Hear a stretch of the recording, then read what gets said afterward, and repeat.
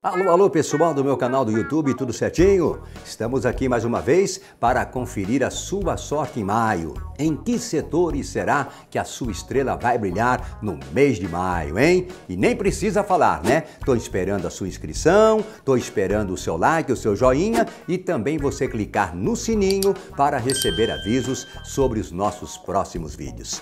Olha aí, o Sol transita por Touro até o dia 20 de maio. Touro representa a segunda casa astral do zodíaco, a Casa da Fortuna, indicando que o dinheiro, bolsas de valores, dólares, enfim, as operações financeiras vão dominar o noticiário, vão dominar a vida das pessoas.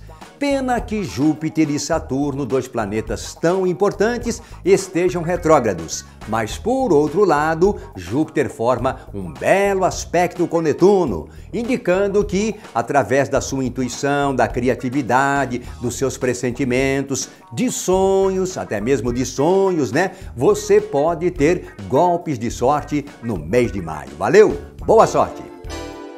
Aquário até o dia 20 Aquário, Vênus vai aumentar a sua dose de sorte, principalmente nos assuntos relacionados às comunicações, serviço de entrega, com automóveis e meios de transporte em geral, tá? Os números para você apostar: 27, 63, 81, 72, 90 e 99. As cores: amarelo e vinho.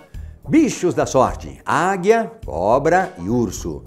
E o seu dia da semana aquário é o sábado. Valeu?